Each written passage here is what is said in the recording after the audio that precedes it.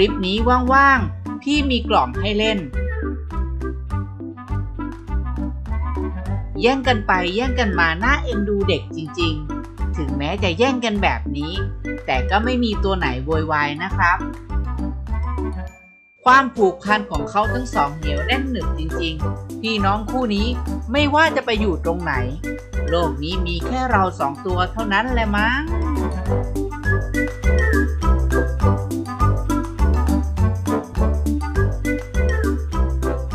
ลิปนี้โรงพยาบาลสัตว์ทิพย์พิมานถ่ายเพื่อให้แฟนคลับที่ติดตามชีวิตของสองเสือ ได้เห็นแล้วก็จะได้สบายใจนะครับ ดูจากสถานที่แล้วสองพี่น้องอยู่สุขสบายดีมากๆ พื้นที่ดูสะอาดแล้วก็น่าอยู่มากๆครับ ขอขอบคุณโรงพยาบาลสัตว์ทิพย์พิมานและสถานี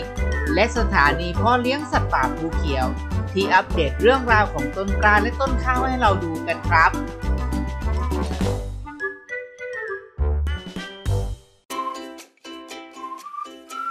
ขอฝากโครงการพ่อแม่อุปถัมภ์ระบุสถานีพ่อเลี้ยงสัตว์ป่าภูเขียวจังหวัดชัยภูมิด้วยนะครับ จะบริจาคเป็นอาหารหรือช่วยค่าใช้จ่าย ก็แล้วแต่สะดวกนะครับ เรามาทำให้น้องอิ่มท้องกันทุกมื้อนะครับ ดูรายละเอียดด้านล่างคลิปได้เลยนะครับ